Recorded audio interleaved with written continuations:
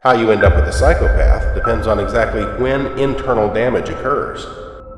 It takes experiencing violence or being a part of it in real life. Now that, that's where the sickness evolves, and it sticks. Hello? What's your favorite scary movie? I was attacked. By who? A man in a white mask. Welcome to your screen test.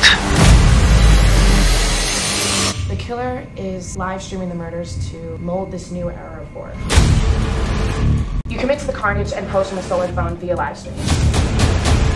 Not fucking killing people! What's the matter, Deja? You look like you've seen a ghost. Who is this? Consider me your director. What is does he say?